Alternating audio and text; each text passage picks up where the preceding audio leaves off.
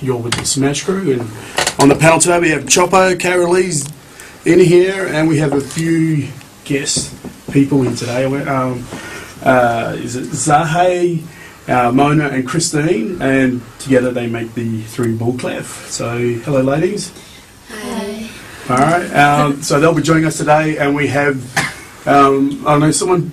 There's a rope in the middle of the um, studio. I don't know. We have got a bit of circus lame going on here. Um, are you going to be doing? Uh, is uh, Mustafa just doing? Mustafa. Mustafa, are you doing some circus lame stuff, or are you doing some juggling or something today? No, magic. Oh, magic. Oh, sorry. Sorry about that. Uh, someone, my info's wrong.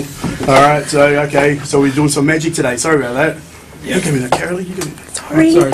And anyways, same as I said, these guys are gonna, um, the girls are gonna be performing. We don't know what song. We'll find out after this song. So the girls will be with us. We've got a few questions for them, and um, the, the guys not doing no flips or anything, no juggling. So we've got of doing some some magic tricks. So stay with us here on the Smash Crew. Of course, we've got the NRL. Uh, we're going to talk a bit more about wrestling today, aren't we, Chop? Yes. So we got the um, we're going to talk about AFL, some soccer. So stick with us here on 100.9 Noongar Radio, the Smash Crew.